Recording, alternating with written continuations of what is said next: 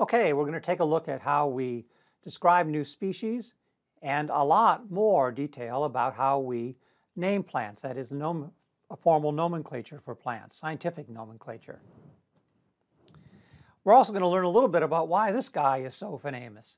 This is, of course, Carolus Linnaeus. He invented the system of binomial nomenclature, and we will talk a little bit about why that nomenclature is so important in science. We're going to start with a description of the process that we use when we collect and name a new species. So let's just say that you are out there in the field and you're a trained botanist. You already know all the things that you would do in this course, plus you've been working in naming species for a number of years.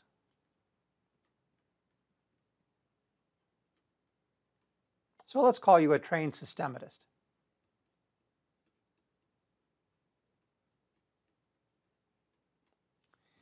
And you're out there in the field, perhaps in the tropics where not too many other people have been, and suddenly you see something that's unusual. Something specifically a plant. And it's unusual because you don't know it.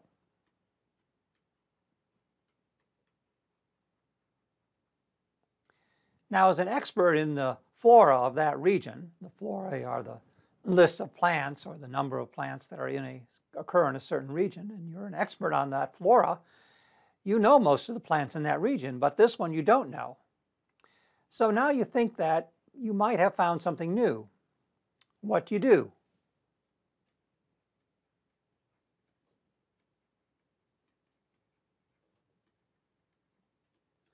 This is your chance maybe to name a new species. How would you go about that? So that's the first thing we're going to talk about. Okay, collecting and naming a new species. So the first thing you're going to do, you're going to collect a specimen of that plant in the field. And you're going to collect it in a special way. You're going to make what's called a herbarium specimen.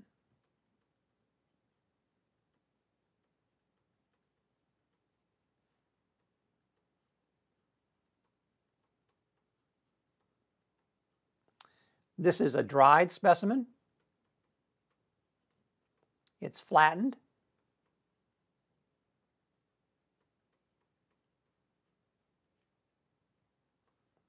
So you've taken the plant, the live plant, and you've put it between two boards and some cardboard in there, and you have um, flattened those things together. You've actually stepped on these two boards with the plant in between them, and you've squished it all down. You've made some notes about what you've put in that between those two pieces of paper, and you dried it.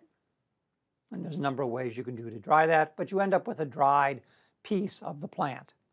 And that's going piece of the plant, that herbarium specimen, is going to be placed in a scientific plant collection called a herbarium, which we'll come back to later in the course and talk more about.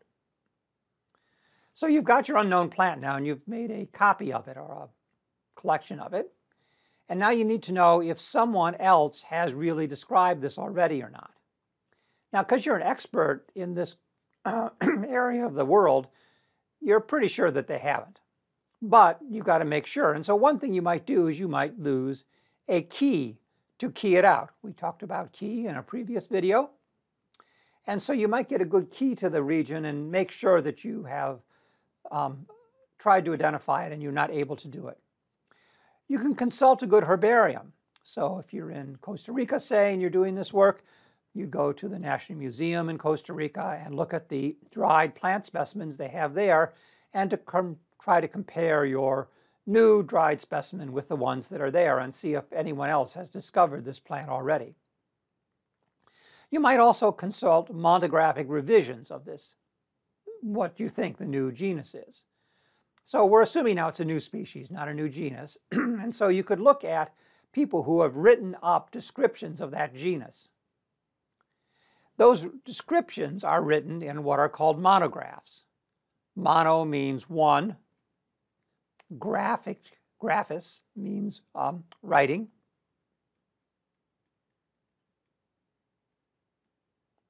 So a monograph is a essentially a book that is published that um, codifies all of the knowledge about a given taxon, perhaps a given genus, and publishes that in a way accessible to other botanists. Let's look at some examples of those. First, we'll look at this systematic botany monographs. This website is by the American Association of Plant Taxonomists, and it is a website, not a website, but it's a website that where they link to descriptions of monographs. So here are some of the latest volumes in this publication series, Systematic Botany Monographs. So here is a revision of a genus in the family Melastomataceae. Here is a, regenus, a revision of a group, a part of the genus Ficus. That's the genus that's figs. Those are the figs that you might eat from the grocery store. It's one part of that genus, and they've revised that and placed it here. So let's say you think you've got a new species of fig. This is one of the monographic revisions you would want to consult about that to see if someone else has already described that. Here is a monographic revision um, of a plant, Renealmia. This is one of the genera that I've worked on, not on the taxonomy, but on other aspects. And you can see again, this was published in a, a monograph of the genus Renealmia. Here's the author of that monograph. It was published in a journal or a periodical called Flora Neotropica, the Flora of the Neotropics, and it was published in 1997, 1977. We can go on and look at some of the pages in this, published by the New York Botanical Gardens. So there's an introduction, the first thing that they do, a little bit of a historical survey.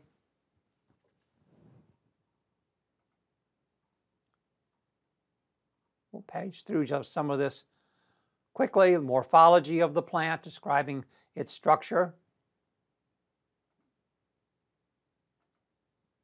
some photographs of different parts of the structure that are useful in the taxonomy.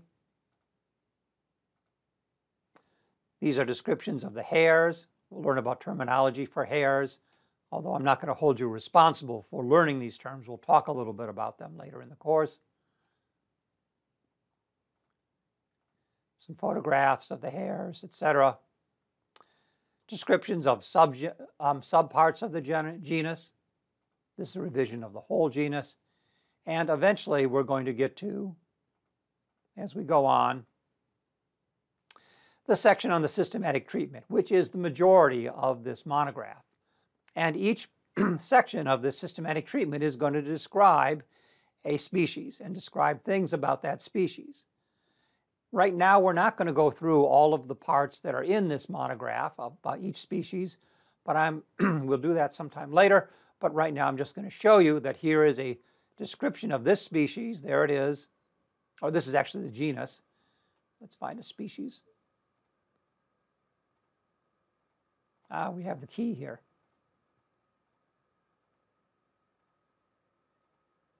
We're into the descriptions of the species now. I want to find the beginning of one.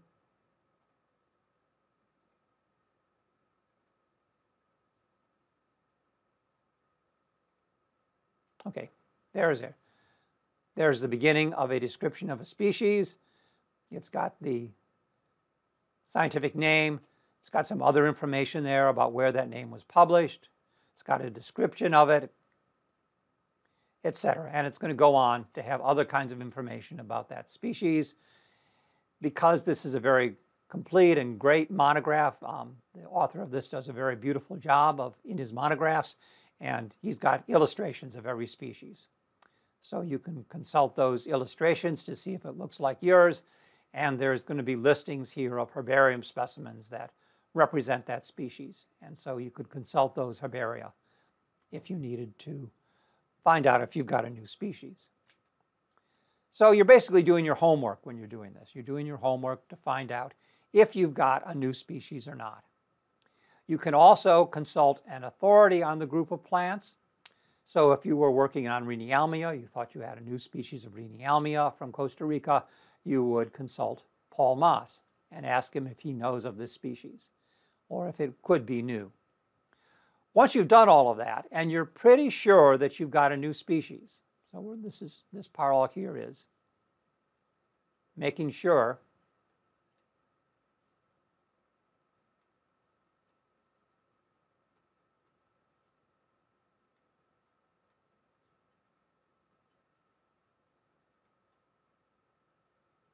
making sure that it's a new species. So once you've done all of that, you want to publish the name. You want to publish your name. You're going to name it, and you're going to publish that name. And there are now are rules that are set down for how you're going to publish that name in order to get the scientific community to take it seriously. If you don't follow these rules, the scientific community, other systematists just could ignore your name. They won't, they won't pay attention to your work.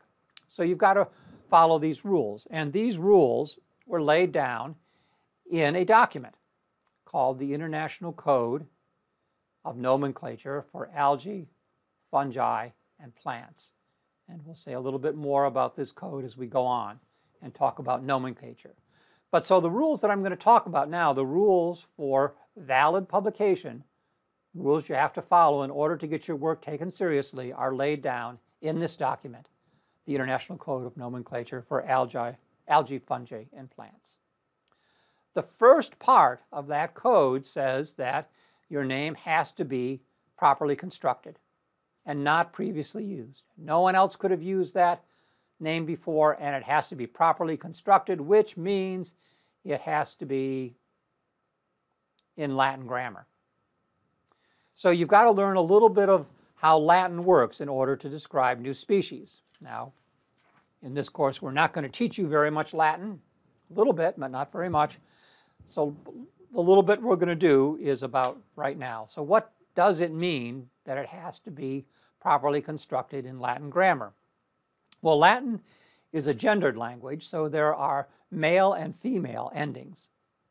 So the endings of the generic name and the species name, the specific epithet, have to be the same.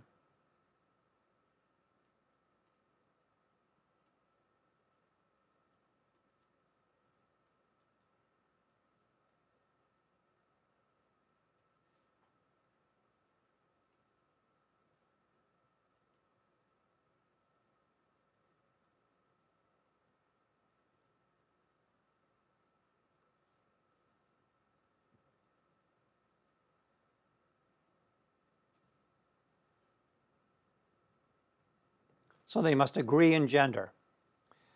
So in the case where you have a female ending of the generic name, let's say that it ends in A, which would be a female ending, the specific epithet must also end in A. If you have an ending that ends in um, which is a male ending, on the generic name, the specific epithet must also end in um. There is, however, one type of exception.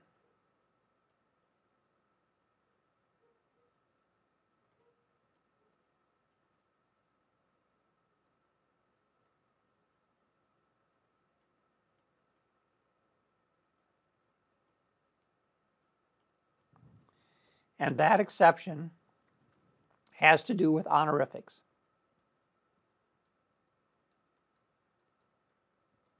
An honorific is a name that is created to honor someone.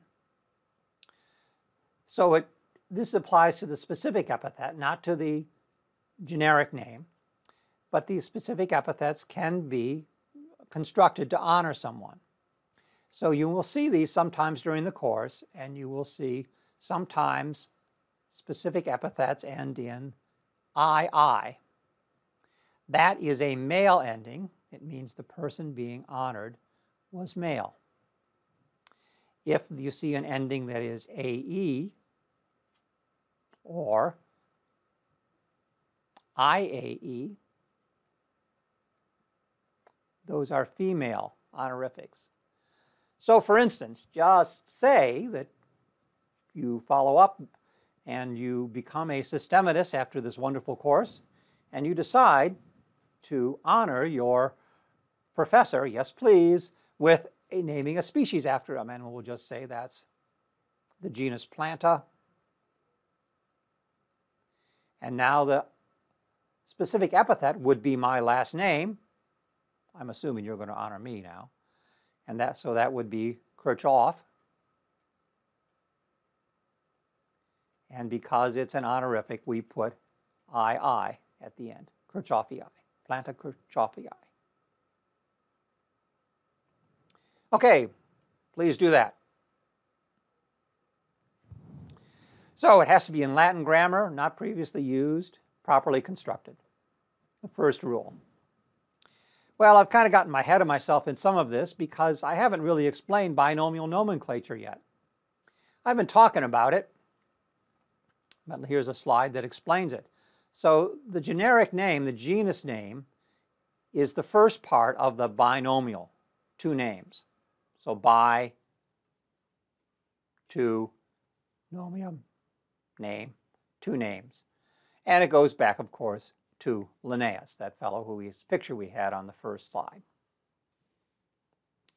So the first part of that name is the generic name. It's capitalized and italicized. It, these the words are italicized because there's a convention in English that when you're using a word that's in a foreign language, you should italicize it. And so we italicize the names of genus and species because they are in a foreign language. They're in Latin.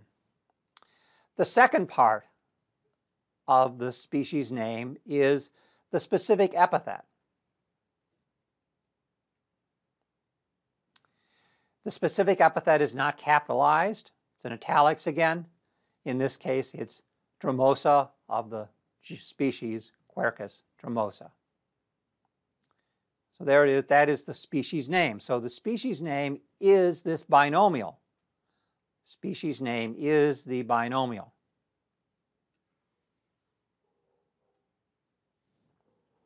Okay, the species name is not the second name. This second name, that's the specific epithet.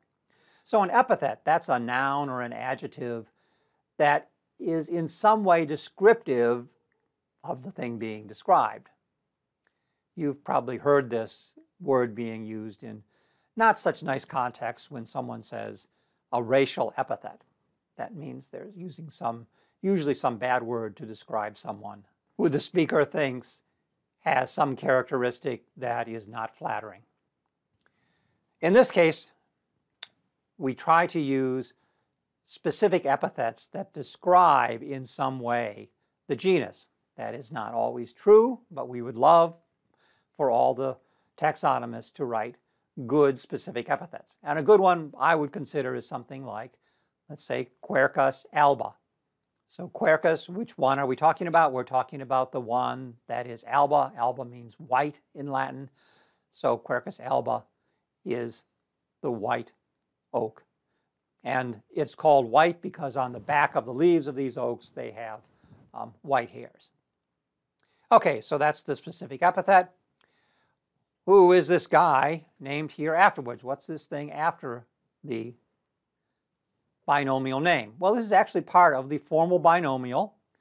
Nuttall, here, Thomas Nuttall, is the person who described this species. That is, he coined this binomial.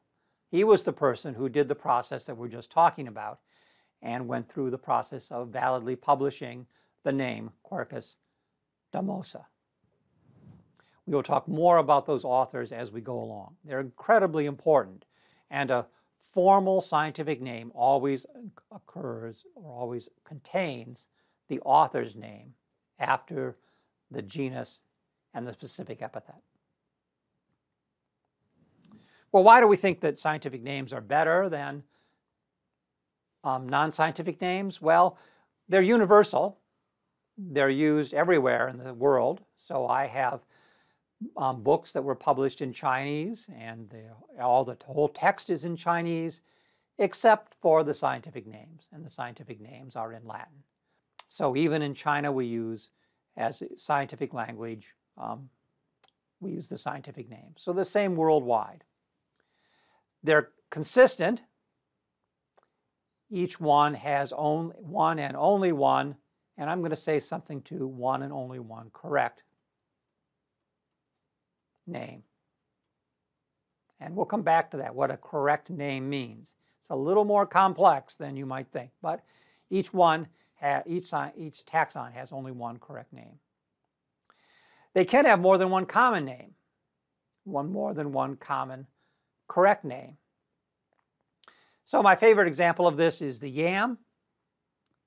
I teach in the southern United States, and everyone in the South knows that when you're going to eat yams, you um, take and you harvest those roots, you cut them up very finely, you mash them up in a pot and you boil them as hard as you can, and then you take the water from that and you throw it out and you bring the stuff of the yam back into another pot and you boil them again and you throw the water out. And you do that about three times. And once you've done all that, you've removed all the toxins from the yam and then it's uh, safe to use um, to cook. Uh, oh, you think I'm talking about um, the yam of the South because I said I teach in the South. No, I'm talking about the yam of South America, which is poisonous if you eat it without going through the process of removing all the toxins. So you see the problem with common names. They can mean very, very different things and sometimes have really bad consequences if you don't know the plant that you're dealing with. Common names also tell us nothing about the taxonomic rank. They don't tell us whether they were talking about a genus. So if we say oaks, right, I, must, I went, I saw that oak. Well, does that mean, what oak did you see? We don't really know from that. Whereas if you go say, oh, I saw Quercus alba, we know exactly what you saw. Know lots of things about that plant. Many plants don't have common names. I was talking to colleagues in Brazil about the common names they use, and they just said most everything here does not have a common name in Portuguese. And so that's a real problem for them. If they want to talk to other people about it, they can't talk to, about common names. So in addition to having a correctly constructed name, the rank of the taxon must be indicated. So the rank, that means whether it's a new species, a new genus, et cetera, what. Now, usually they're new species. Sometimes you can have new subspecies, et cetera, constructed. But let's just use two examples. If it's a new species, someplace in the description of that plant, you're going to see SPNOV, species novum, a new species. If it's a new genus, someplace in the description we're going to see GEN, NOV, meaning it is a new genus. And usually that appears right after the authority, the person's name who's describing the species, so that when you first describe it, it's clear what rank this new taxon has. Now, it should be clear from other things, but this is really very legalistic language. The people who do these kinds of things are very, very careful. And so these, this procedure means that there's no mistaking what level of um, what rank we are at. A type specimen has to be designated.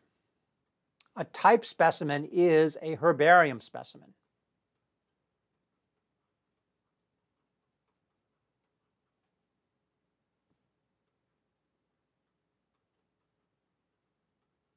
So it's that dried plant specimen that you were out there and collect, collecting. Now the name is specifically associated with that specimen.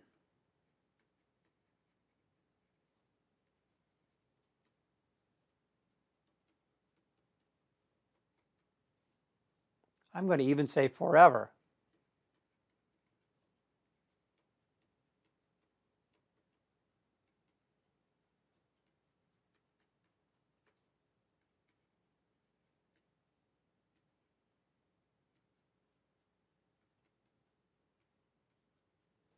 So it's associated with that herbarium specimen. Well, let's look at a herbarium specimen and then we'll come back to that point. So here's what a herbarium specimen looks like. This is from the textbook Simpson, and this is a really wonderful example of a herbarium specimen, beautifully put together. You can see there are dried plant parts here. This was from a very large plant, so just a part of the plant is put down here, representative part. They put photographs on here, which is a great addition to herbarium specimens to show what it looked like in life. Um, there is a label down here, which we'll talk about later, what goes on that label, but the name of the species is going to be on there. There's a little fragment here in case something falls off. So suppose something falls off of this, one of these spines falls off. In that case, you'd take that spine and you'd put it in this label, in this little packet, so that you don't lose it. I mean, there might there's some DNA in that spine, and someone may need a piece of this plant to do some molecular work, and there it goes. They've got it in the packet already, so it's saved. There's other things on here like the accession number. This is a number that's assigned when it's put into the herbarium so that they can always find it. It's a unique number for that herbarium. And this specimen, if it is a type specimen, is primarily associated with the name. So here is a type specimen. There is an official type. This is from a plant in Australia. It's got this beautiful red label on it. Actually, it's an ugly red label, but it's very important to know that it's a type specimen. It's going to say down on the, um, the name is going to appear down here on these labels. And so the name of this plant, Hakea rugosa, is permanently associated with this dried plant.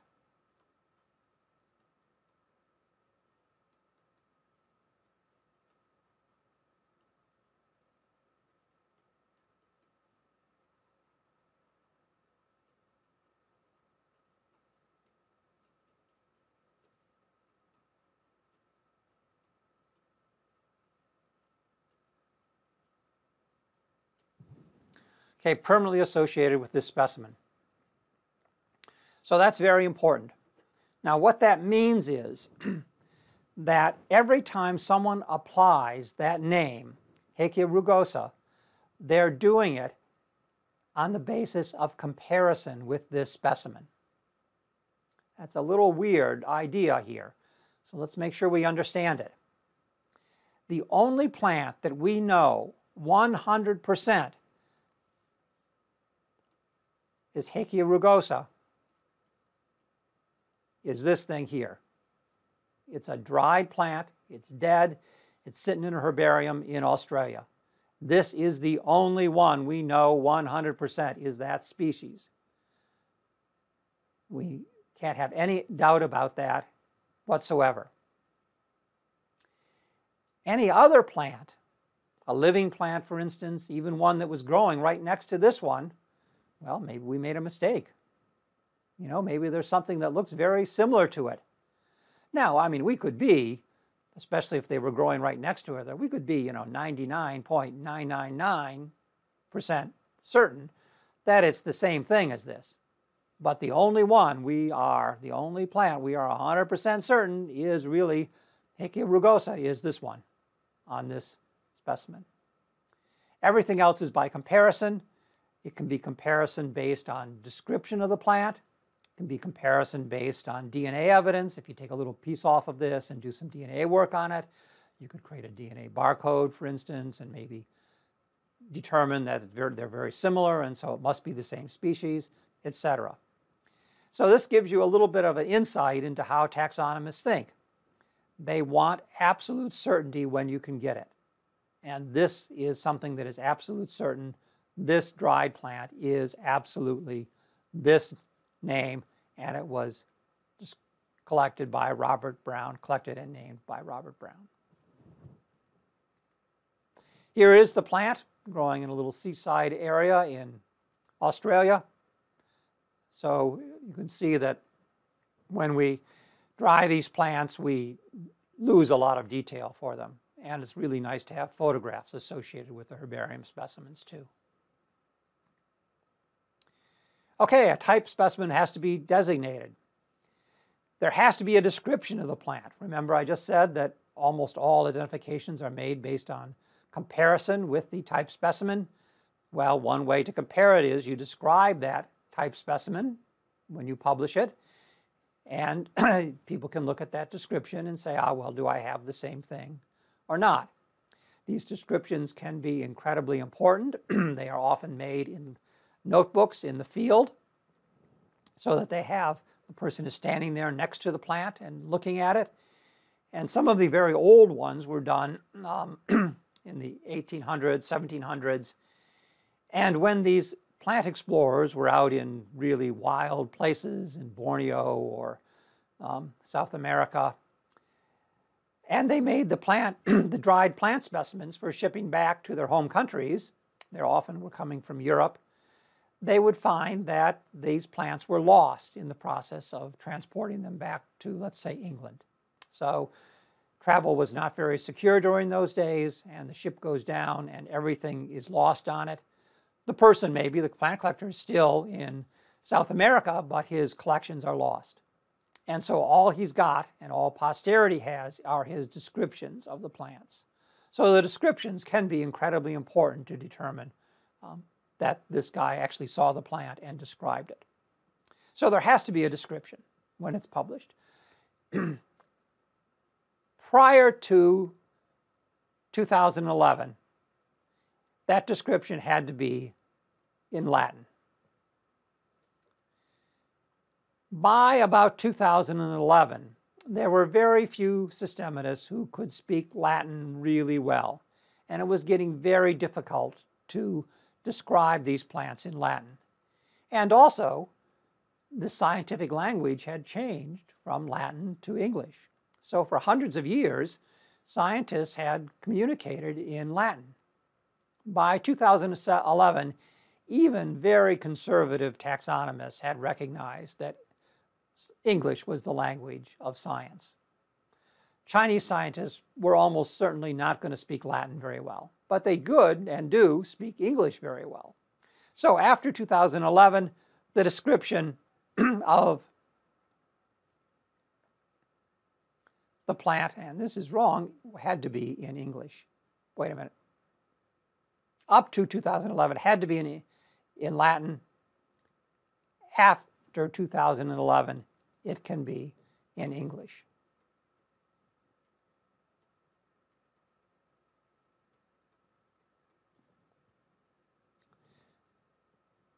After 2011, uh, Latin description is encouraged, but it's not required, and many descriptions of new descriptions of plants do not have descriptions in Latin. Well, let's look at a publication that follows all of these rules describing a new species.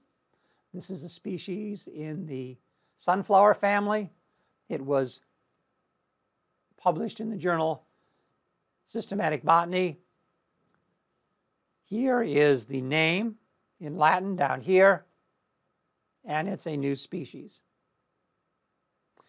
Let me enlarge a little bit of this diagram so we can see some of the other parts here. We can see over here, there is a type specimen that's been indicated, described where it is in detail, and described where they have placed in herbaria. There's these abbreviations used for herbaria. You can look them up if you need to know where they, what they are, but they've been used for hundreds of years, so some of them have been used for hundreds of years. So they describe where the herbaria are and where the type specimen is placed. There is a Latin description because this was prior to 2011.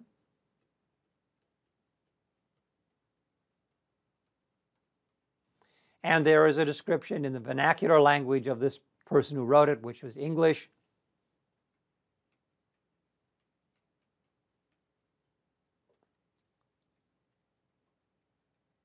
which was allowed under the other rules. Wasn't required, but it was allowed to have a vernacular description. Again, we can see better over here. We see on the left, we see there's the species name. There are the authors.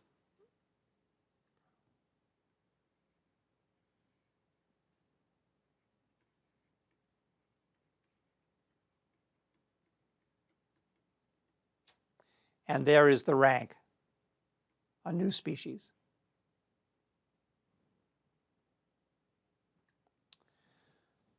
So the description of the plant sub in English, and it was validly published, effectively published rather.